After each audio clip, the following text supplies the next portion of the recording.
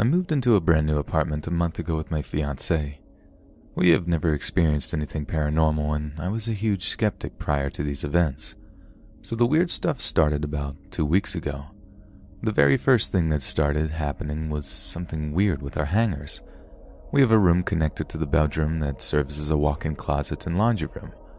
We noticed sounds in there when we were in other parts of the apartment. We started finding metal hangers snapped from the top with the clothes we hung up on the other side of the room.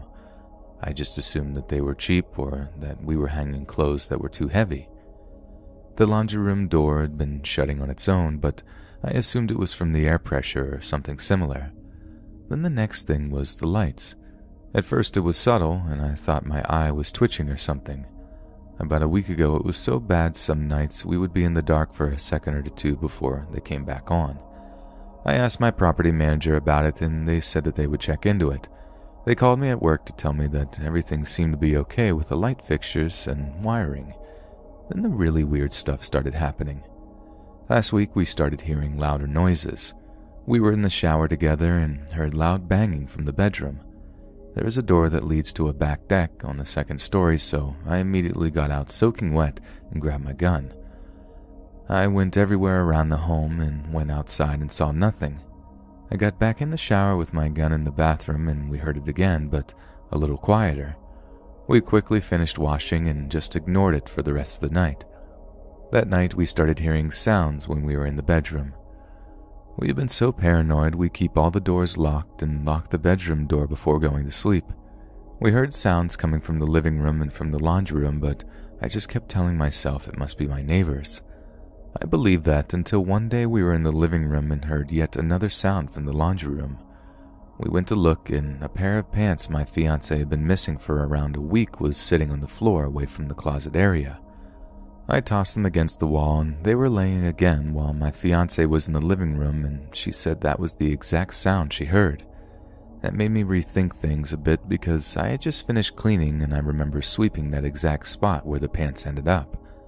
That night we kept hearing more and more noises and finally started thinking it might be something more than just coincidences and loud neighbors. At around 2 a.m., we went into the bedroom and I jokingly said out loud, If there's a spirit in here, Give me a sign. Then I said, I don't care if you're a little punk. At the time, I was pretty confident that it was no big deal, and I was trying to calm my fiance down. After that, we noticed parts of the apartment were starting to get really cold. My fiance and I both kept getting goosebumps for no apparent reason, and she said that she felt a feeling of dread. She was so scared, so we decided to take a drive around the lake near us to calm down and maybe grab some food and everything changed after that. When we left, I felt so drained and I was really tired, so I pulled over to let her drive my car. We were going down a road in Carter County, Tennessee, for reference.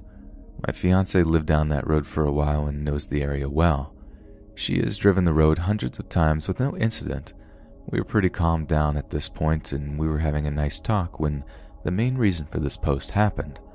I saw something I can only describe as a white and gray shape with two distinct short legs and something flowing between them coming flying out of the woods on the driver's side towards us. I yelled, Stop, please stop, because I thought we were about to run an animal or something over. Even though I was looking at it, I couldn't make out any details like a face or head, but when it got close to the car, I noticed it was much bigger than I originally thought. I drive a sedan, and when it made it to the driver's side window, it was slightly taller than the car. I noticed its feet were always straight up and down, like it wasn't using them to move. I was bracing for impact, but it never happened. I turned around, and the thing was gone. I really believe that I would have seen it after we passed it because even though it was dark, the thing seemed to kind of glow. It was very white when I first saw it, but kind of gray when it got to the car. My fiance and I sat in silence for a second before I said something like, Please tell me you just saw that. My fiance said she did and wanted to wait to talk about it because she had a really bad feeling. We went down the road a bit before she told me her point of view. She said she was driving and just felt an awful feeling of terror and got goosebumps before it happened. She said she never saw it coming out of the woods, but she mentioned that she felt that she couldn't look at it. She said she never looked directly at it, but when it was about to hit the driver's side window, it was that fast coming out of the woods from beside us. It took up the entire window with a grayish white color. She said she heard a faint growl and a high pitched screaming sound at the same time. She said it got to the window for a brief moment, stopped and stared into the car. I did not hear anything, but I was a little further away than her. The thing never hit our car, and I turned around, but literally as soon as I repositioned my body, it was gone. I thought for sure we were going to wreck because the thing was so big. I looked right at the thing, but it was so fast and so strange that I still have no idea what I saw. We checked the time after we made it to the main road and it was 3:20 a.m., so it was probably around 3:10 to 3:15 a.m. when it happened. We turned around and went back down that road four times in a row, hoping to see a big white dog or really anything that it could have been. We saw nothing at all. We noticed that it was near an abandoned trailer and that the bank that the thing would have come down was really steep, so we dismissed the idea that it was a person in some sort of a costume. When we got home that night, we just had a terrible feeling of anxiety that night. We heard noises, but we tried to play music to cover up the sounds, and we waited until daylight broke to go to bed. We were woken up again around 7 a.m. from banging right above us, even though we were on the top floor. My fiance has been very upset and says she feels watched when she is alone at home, but now she feels it when I am home as well. I don't know where to go from here, but I want it to stop.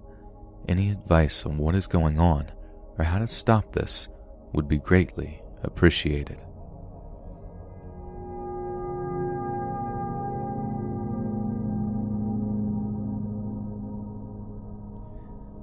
In a previous thread I just posted, I discussed a very strange happening at my parents' house around 10 years ago. This instance is from around two years ago in mid 2016.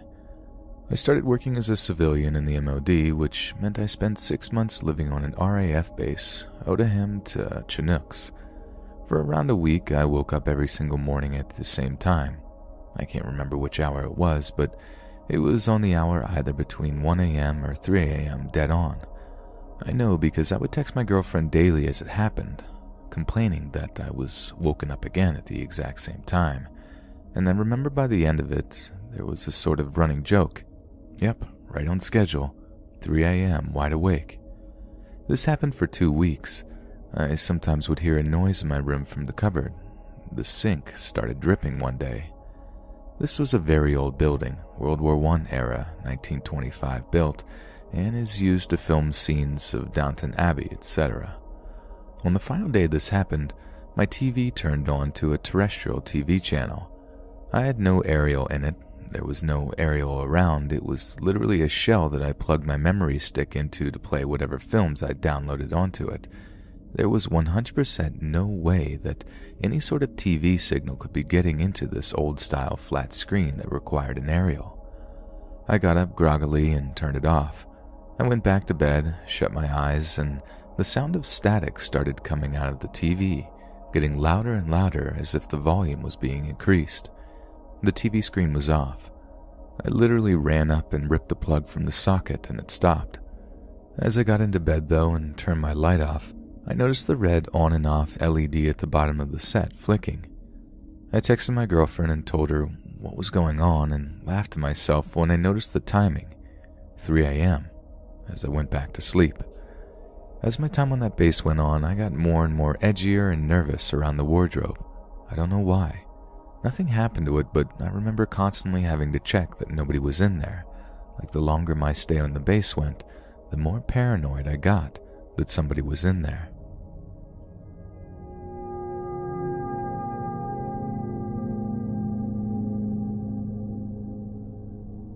I've always suffered from nightmares, but never really had any issues with sleepwalking. However, since around two to three years ago, I have been having close to home nightmares, in which the only way I can describe it is an out of body experience similar to that of the terrible film Insidious. While sleeping in my nightmare, I would feel myself wake up and move out of bed in a very floating feeling. I would move around my house. Suddenly, they started to include beings, manifestations, things, darkness. It was almost as if these things that felt pure malevolent were sensing a human in their plane and were attracted to me. I've never been able to look in a mirror when in this nightmare, strangely enough, as if a strong magnet is repelling me. But the end is always the same. In the nightmare, I escape from these things and I feel like a vacuum force sucking me into my body, and I open my eyes and I'm stood outside where I escaped to. This started to happen in my parents' house, which is featured in a previous post, one that sticks in my mind and still haunts me. I wake up in my bed to go downstairs, and the house is exactly how it was, physically. Same lighting, and the lighting was in the same places it always is. I moved downstairs and saw my parents were still in the lounge watching TV. I went into the kitchen when I felt the whole room go cold enough to see your breath, and the lights in this place were dimmed a lot. Then I saw down the hallway three dark, shadowy manifestations that had a white, wispy glow behind where a face would be, about one foot off the floor, floating through the room towards me. They felt pure natural evil, like the lion naturally being drawn to the gazelle as prey. Everything felt slowed down as they were just sucking out my life force. No other way to describe it, and I was feeling groggy. I remember trying to snap myself out of this and made a slow and stumbling attempt to get out of the house. I got outside into the garden and woke up physically in the garden. Since then, I have lived in a few different houses. I consistently have these out of body experience dreams where I wake up and there is a presence in my room or at my window attached to me and drawn to whatever part of me is out of the body. I moved into a new flat last month with my girlfriend. First week we stayed there at her parents' whilst I decorated with my brother. I had an experience. I was walking around my flat, asleep, and it was chilly and my brother was on his phone in a spare bed, unaware I was there. I was trying to turn the lights on, but I was physically unable to, and then I heard a female disembodied voice shout, whispering, Hello? As I know someone is there, can hear me. Then my brother looked up and got out of bed and checked who was there out of the door where I was.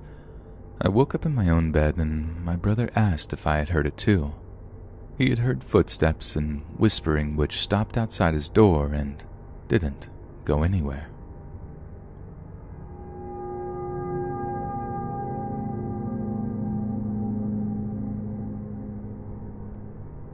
I was 10 and my sister 3 and being we were in a two bedroom home and girls, we shared a room.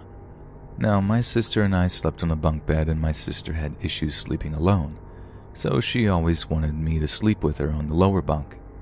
Now, the bunk beds didn't have side railings, and my mom not wanting us to fall out of bed, she bought side railings and put them on our beds.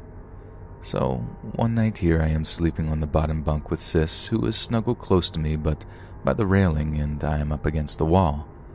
I was sleeping facing the wall and my sister behind me, and for some odd reason, I felt like I had to turn over and look behind me. When I did, close to the railing, I saw my mom staring at us with this big smile on her lips. I didn't think anything of it. I mean, my mom always checked in on me and specifically my little sister at night. So I simply say, Oh, hey, mom. Then I roll back over to go back to sleep. Not even one second from seeing her, I remember I had to tell my mom something I'd forgotten to tell her I needed for school. So I roll back over knowing I'm going to see my mom there and she's gone.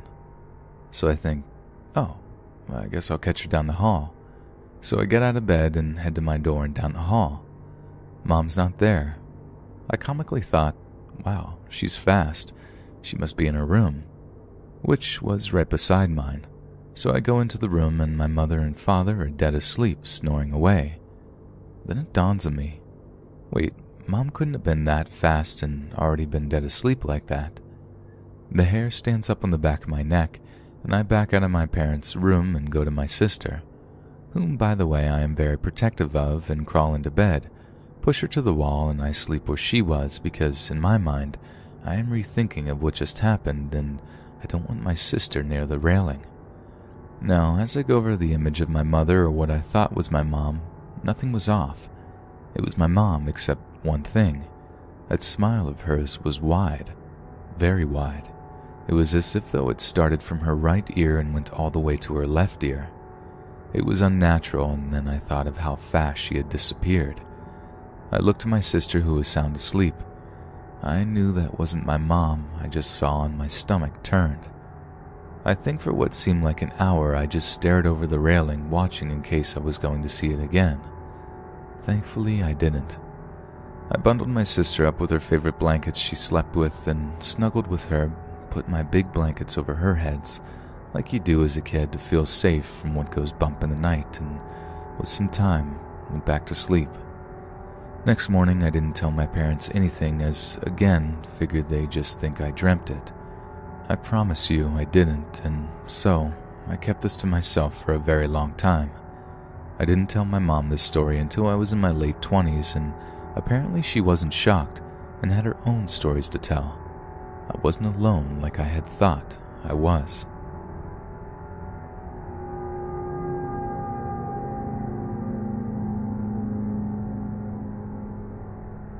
I would like to think of myself as a little grounded when it comes to paranormal things. I don't just jump to the conclusion that what went bump under my radar was something unworldly. So I have to say I've gone over and over in my head with the details of the story I'm about to share, and I can promise you, the conclusion I came up with did in fact happen. A little backstory. Where this story takes place in a rural place in the Outer Banks of North Carolina, it is a place that is one sided suburban and the other is lots of trees wildlife and marshy area, basically a small island, and is also known to have native origins here. Now, where I lived had no street lights, nothing lit the streets except the moon and the stars. It is really pretty at night because you're able to see the stars clearly, as long as you don't mind battling the mosquitoes. It was summer and I was seven. It was eight o'clock and my bedtime. It was also a school night, so off to bed I went, of course, after the ritual of brushing my teeth and hair and so on. Now, I remember staring at my large bay windows from my bed that only had pink sheer curtains and noted how bright the moon was and how it made the tree's shadows seem eerie, but I was used to it and I went to sleep. Now, time passed. I honestly don't know what time it was, but I found myself slowly waking up to what was maybe the middle of the night with this uneasy feeling like I just couldn't get comfortable and that feeling that I was being watched. I didn't understand why I was feeling this at first, and it didn't help that I was a little groggy. I don't know what made me look up from my bed into the window, but I did. And why I was feeling the way I was was frighteningly answered. I saw through my window an imposing figure in a black silhouette.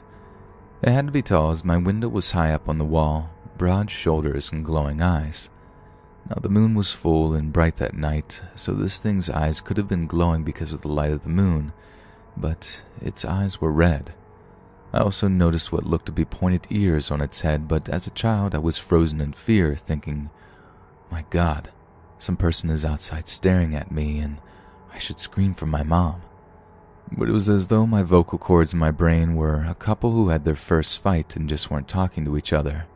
All I could do is grab my covers and pull them as far as I could up over my nose, and only my eyes could be seen. I mean, after all, covers are more powerful things for kids, and they save you from the boogeyman, right? So, at this point, I am a bundle of emotions and trying not to wet myself. Another thought comes to my mind. My window is a good maybe 10 or feet so off the ground, and this person is standing full form. I can see its waist all the way to the top of the bed. Then, as this realization hits and the question is, is this a person, was answered, this thing turns its head to show a long snout, sort of like a wolf, but not quite. That's when my bladder decided to say, I'm out. All yours, buddy. I won't lie, it took a lot not to wet the bed, even though my bladder was very willing to do so. It felt like an eternity as this thing just stared at me through the window, and the fear I was going to be eaten like Red Riding Hood. Finally, my brain and vocal cords seem to make up, and right as I'm about to scream for my mom, the thing backs up and runs off. It didn't make a noise or anything, it was just gone. I laid there in shock, thinking, did this happen? Did I just see what I saw? I really need to use the bathroom, but I'm not getting up. Like I said, lots of stuff went through my head, and as weird as it was, I didn't call my mom or dad out of fear that they wouldn't believe me. I didn't sleep well that night, and when I did was with the covers over my head. I don't know what I saw, but I thought maybe I dreamed it until I decided the next morning before school. I checked my window, and the grass my father hadn't weed whacked yet was crushed by something very large and heavy. I would love to hear from anyone else who may have had similar stories like this, as I'm not quite sure what this thing was, but know it was something I'll never forget.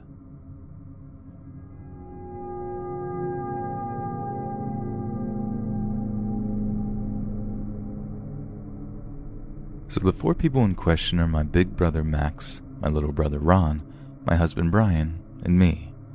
The pharmacy in question is very small, maybe 500 square feet, with a couple aisles that are short enough to see over, and an open pharmacy area next to the only cash register.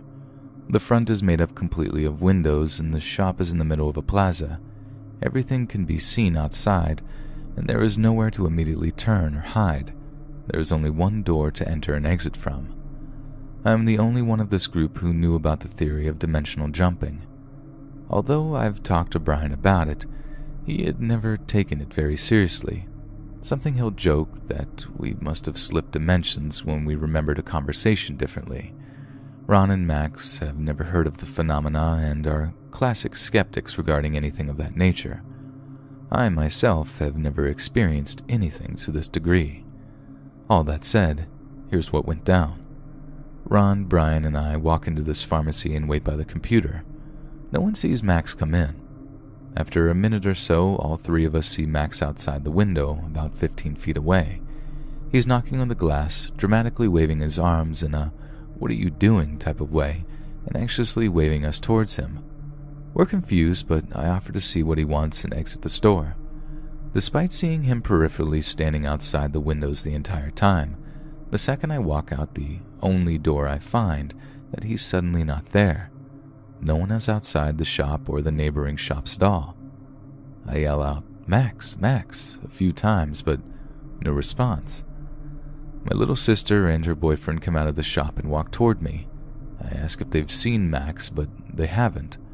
I don't leave the front of the shop at all during this time.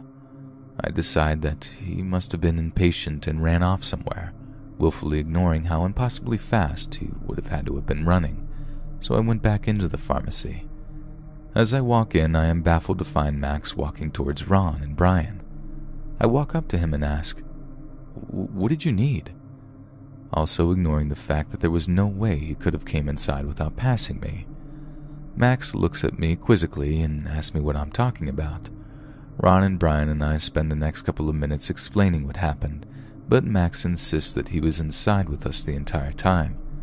At this point, we're all suspicious of each other pulling some sort of stupid prank, but no one buckles. Max, in particular, loves messing with people, but could not keep a straight face to save his life. And as we talked and thought about it, we all realized that, prank or no, we simply could not explain how Max could have disappeared and snuck inside so instantaneously. We also considered the fact that it might have been someone else at the window, though we were the only ones in the shop.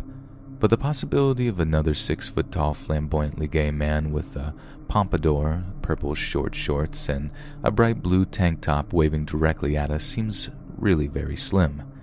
All three of us saw him and identified him as Max without question. This happened about a week ago now, and I'm still wondering and hoping that other Max is doing okay.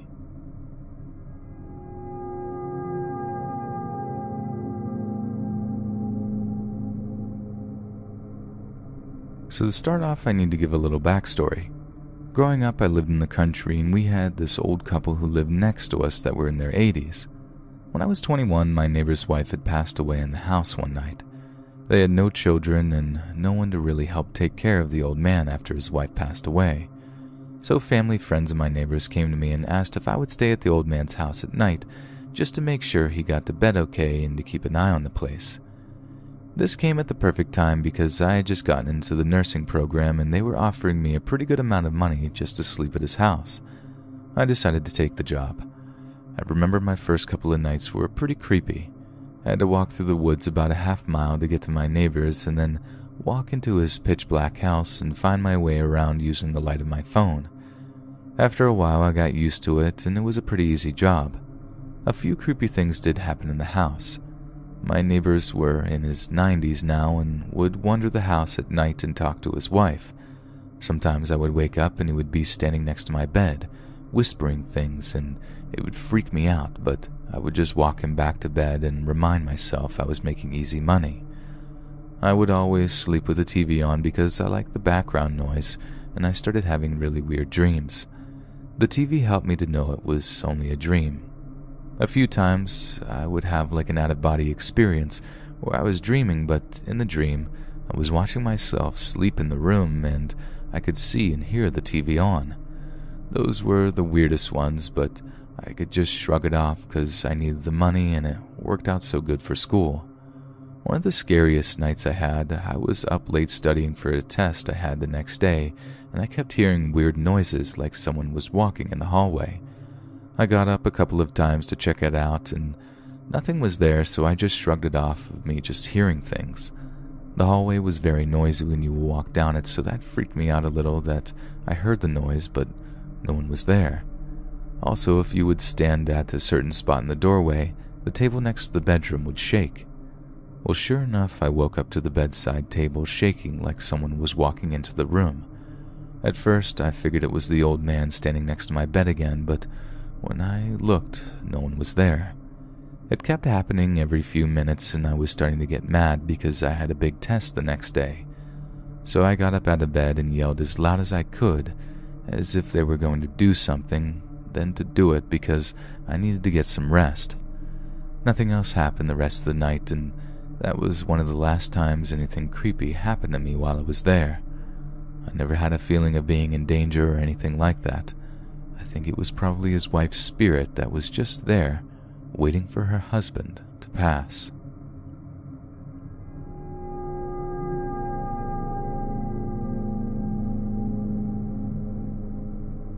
This is a really weird experience I had this past week. My boyfriend and I go to the movie theater at least twice a month, and we've been so stoked to see The Nun. So we go on Saturday at 6:30 p.m. showing and then grab dinner at Buffalo Wild Wings after. Sunday morning, as we were getting breakfast, I mentioned a part of the movie. He asked me if I went to see the movie with my mom. I was so confused, but I thought he was messing with me. So I just looked at him and kind of laughed it off. He looked at me strange and asked, How was it? I started getting freaked out and couldn't get words out of my mouth. I told him, You saw it with me. We ate wings after. So confused. Then he said, no, I worked last night. It was my weekend. Now we were both confused. He showed me a text from his boss that was from 937 asking if he could stay until midnight. He worked second shift, which he replied that he could. I thought at first maybe I was dreaming that we saw the movie, but I remember every part of it so obviously I did see it. He asked if I saw it with someone else, and just for some reason my memory of it with him, since we both wanted to see it so bad, but I remembered I took a video and posted my Snapchat while we were sitting in the theater waiting for the movie to start. It was no longer on my story, but the video's in my Snapchat memories. It even shows that it was taken on the date at 6:23 p.m. I showed him and now we're both confused. I'm trying to get a grasp on how this is possible or what could have happened. If anyone has any idea, please help me out. This is my first time experiencing something this weird.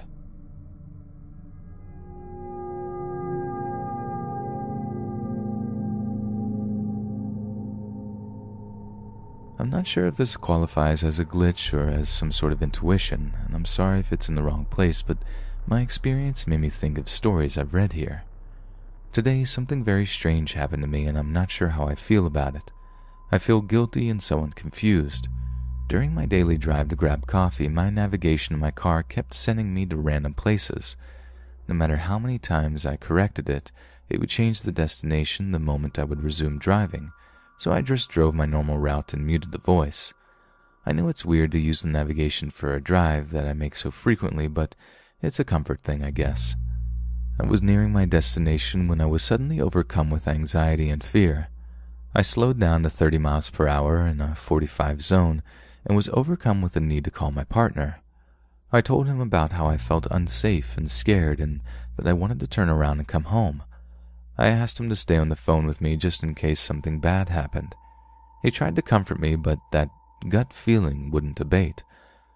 The driver behind me understandably became frustrated that I was driving so slowly and went around me, and shortly after, we stopped at a red light. I had the worst feeling and my whole body started to hurt. I felt like I'd been hit by a bus or something. It was the most odd sensation. It felt like such a long red light, and as it turned green, I hesitated a moment. Everything else happened so fast. A truck sped through the red light and demolished the driver's side of the car in front of me. I knew it was going to happen somehow, and it would have been me if I hadn't slowed down prior to getting to the light. I felt so guilty. So many people were getting out of their cars running to help, but I couldn't. I just pulled into a parking lot and sat there for a while, and then I somehow got home.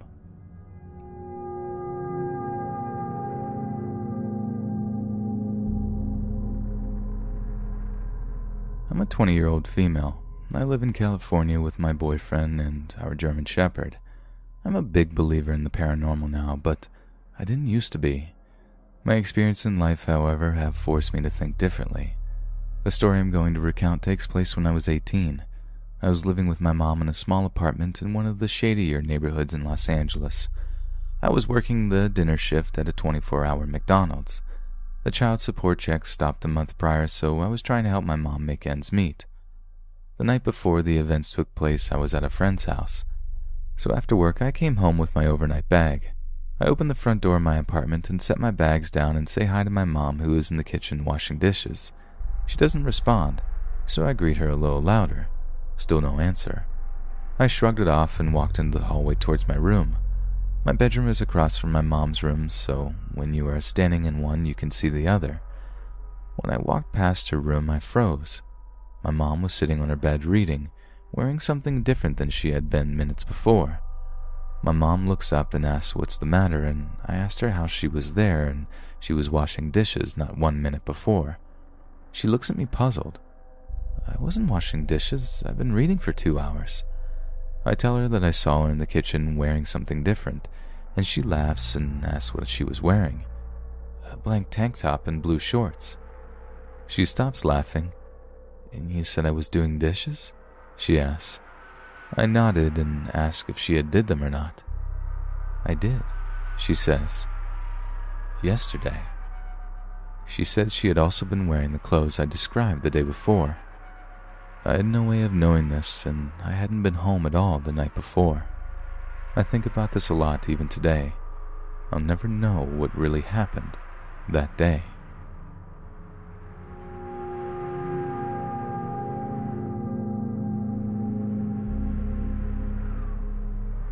Something strange happened last night that I cannot logically explain. I'll start by saying that while I am fascinated by the supernatural, I am also a hardened skeptic. This happened while my wife and I were walking home from our friend's house two city blocks away. The street we live on has a large park that stretches four or five blocks across from many rows of Dutch brownstone townhouses. Each building has a stair stoop that reaches into the sidewalk. So my wife and I are walking along the building side of the street, chatting a little, but mostly focusing on getting home because we both had to pee really bad. At one point, she turns to me and says, Everything keeps resetting. I laugh and assume she was referring to the fact that the apartments on the left all look very similar. So I make a joke. This must be what eternal torture looks like. Bladder's about to burst, but no matter how fast you walk, you'll never reach the bathroom. She laughs in a way that I can tell she is humoring me, but the look on her face is concerned. I focus in a little more on our surroundings, and that's when I notice that she wasn't kidding. No matter how far we walked, we didn't seem to be getting anywhere.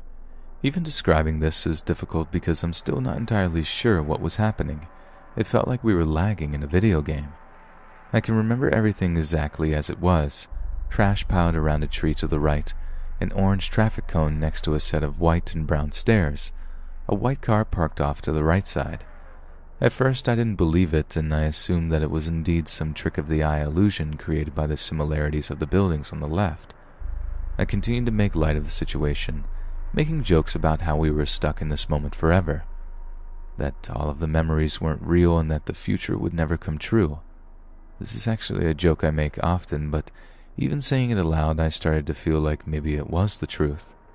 My wife was trying to stay lighthearted as well, but I could tell she was freaked out. I decided I would try to stop walking entirely in hopes of breaking the loop, but found that I couldn't seem to control my legs. After all, we still had to pee, and that was quite the motivation to continue on. It felt like I had no control over the situation.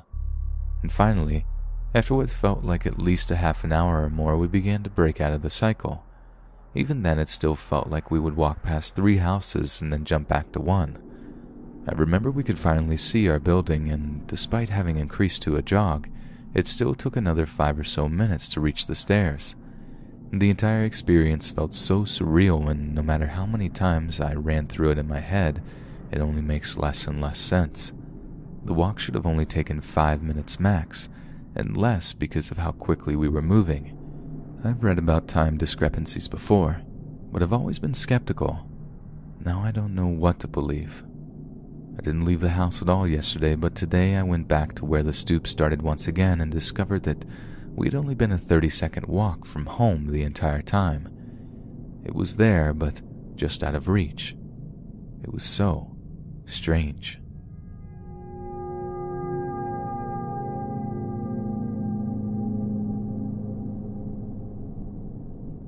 I was around the age of 15 when the story took place, and yes, as I stated before, these are true events that happened throughout my life.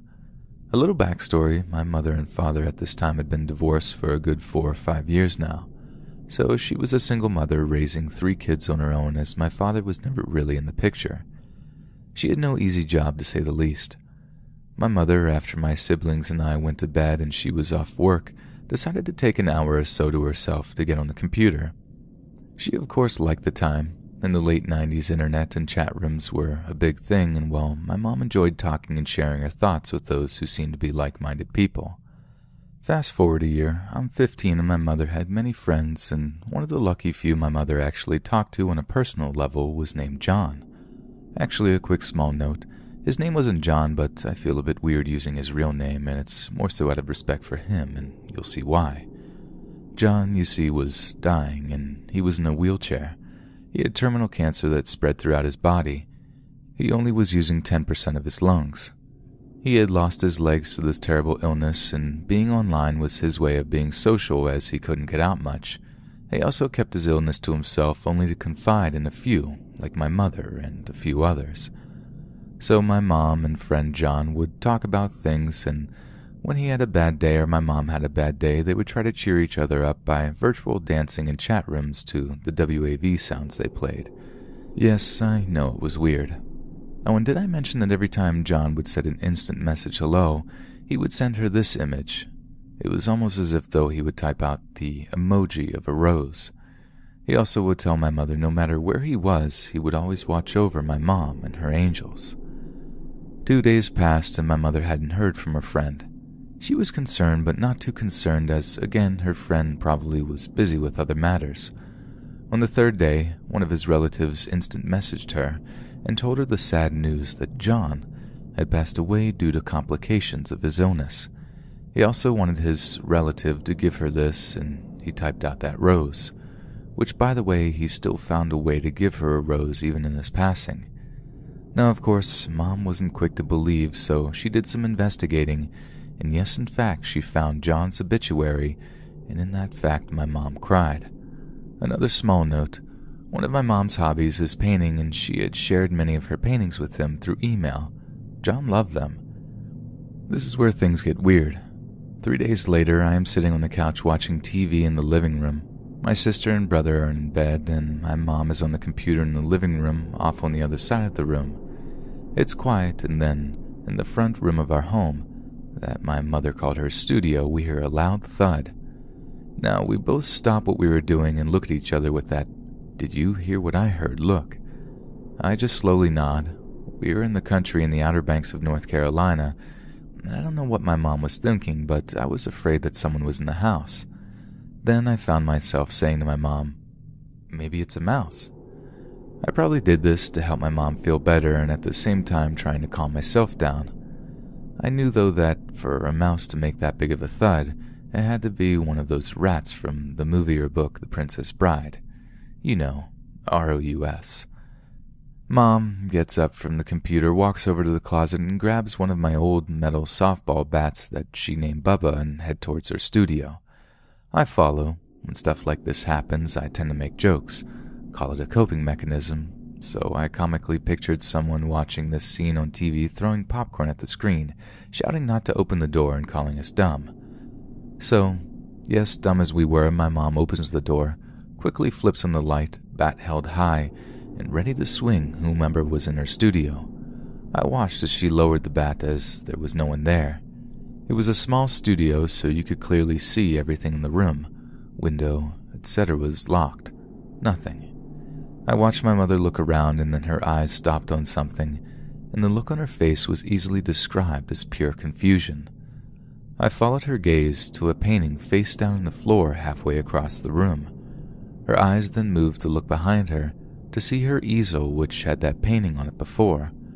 I only know that the painting was on it because out of my mother's mouth was, I left my painting on the easel before I made dinner. How did it get over here? She looks at me for answers as we stare back at the painting across the room. Right, weird. I had no words, and I watched as my mother moved over to her painting, picked it up, inspected it for damage, seeing none, and just put it back on the easel. We don't say any more about it that night, and I go to bed, and she does too. So on to the next day. My mom and I say nothing about what happened last night, and we go on about our days, Again that night, my mom's on the computer and I'm in my room. I hear a loud thud coming from the living room where my mom was. This time, my siblings and I run to see if my mom was okay, afraid she might have fallen or something. We found mom staring down at a painting that had been on the wall for years, now on the floor. Her face said it all. While she was busy doing her thing on the computer, the painting somehow just fell off the wall.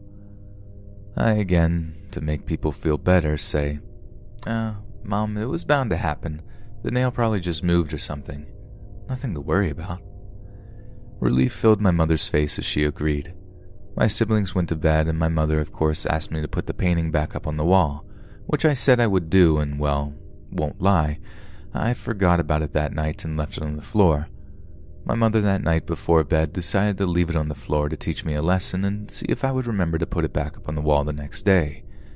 To my mother's delight, the painting was back up on the wall the very next morning, and she was proud of herself and her painting skills as her plan worked. Her darling daughter actually put the painting back on the wall like she had asked. So she found me in the room and said, Honey, I want to thank you for putting that painting back up on the wall. I looked at her and my face looked odd as I said, Mom, I didn't put the painting on the wall. I forgot about it. Mom laughs a little. Stop joking like that. I'm not joking, Mom. I didn't put the painting back on the wall. I reply, and now I'm just as confused as she is. The only other person who would be able to put that heavy picture back on the wall was my sister because my brother was too little at the time. So my mom goes to my sister's in the living room and asks her, Hey dear, did you get on a chair to put the painting back up on the wall? My sister looked at her and shook her head. No, Mom, now, my mom is thinking us kids got together to play a horrible joke on her, which we assure her we didn't. We were ourselves starting to feel that this was getting a bit creepy. As if a light bulb went off on my mom's brain, she looks around the room and just shouts, All right, John, I know you're here. Thanks for letting me know you're okay, but you're scaring the kids and me. You don't have to watch over us anymore. Go into the light. Yeah, we thought Mom had lost it. I just stared at her, and so did my siblings. Funny thing, though, after she said that, nothing like that happened again. Who knows if it was John or maybe something else? I just know it was really weird. Hi friends, thanks for listening. Be sure to subscribe and click that notification bell to be alerted of all future narrations. If you got a story, be sure to submit them to my subreddit, r Let's Read Official, and give and receive feedback from the community, and maybe even hear it featured here on the channel. And be sure to join my Discord also if you want to chit and chat with all the crew. If you want to support me even more, grab early access to all future narrations for just $1 a month on Patreon, and maybe even pick up some Let's Read merch on Spreadshirt. Links in the bio. Thanks so much, friends, and I'll see you again soon.